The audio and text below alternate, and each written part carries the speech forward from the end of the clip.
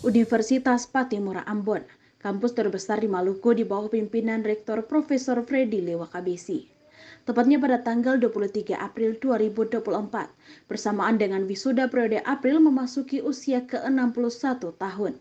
Disnatalis ke-61 berlangsung di bawah sorotan tema Unpati Unggul untuk Generasi Emas Indonesia. Rektor Lewakabisi dalam sambutannya mengatakan, dengan semangat perayaan Disnatalis Unpati kali ini memiliki makna penting untuk kita semua. Baik itu historisnya maupun motivasi untuk menumbuhkan kebersamaan menuju Unpati Unggul bersinar menuju World Class University. Berikut ini simak sambutan lengkap Rektor Lewakabisi seperti yang dilaporkan reporter Patimura TV, Janis Balo.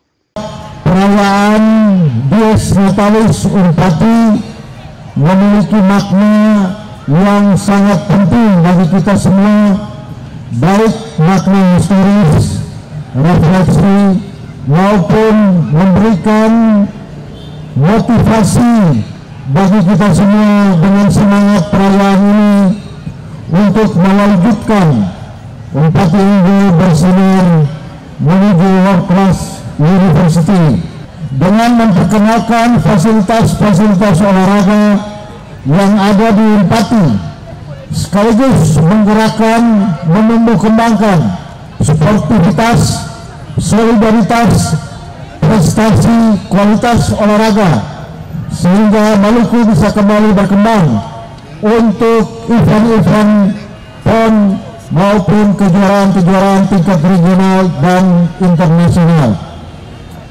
Unpati memiliki program studi penjas kesrat yang juga akan menelurkan bibit-bibit tunggu guru-guru berprestasi di bidang olahraga tetapi juga menggerakkan seluruh momentum pergerakan prestasi olahraga di Maluku dan Unpati sebagai perguruan tinggi telah berkolaborasi dengan semua pihak.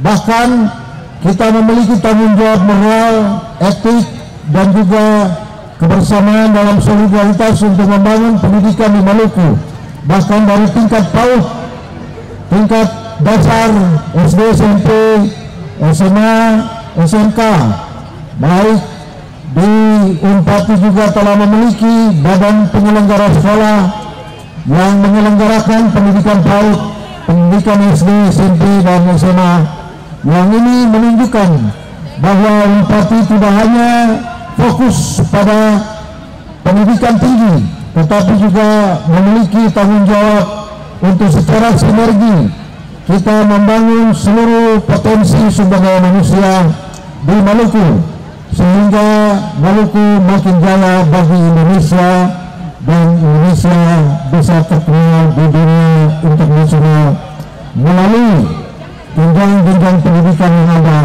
terutama Universitas Patimura.